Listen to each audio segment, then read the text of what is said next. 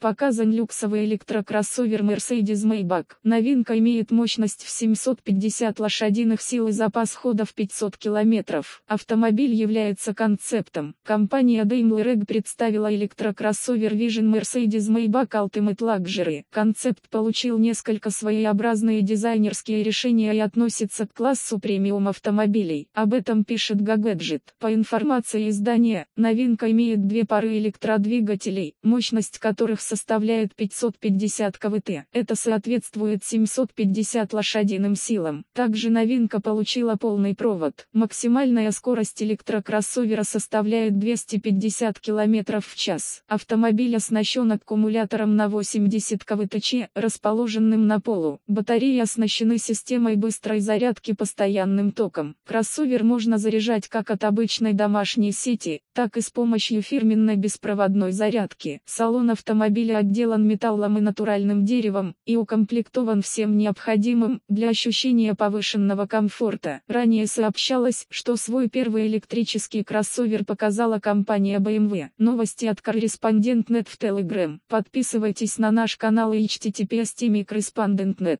По материалам сайта Newsgro.com.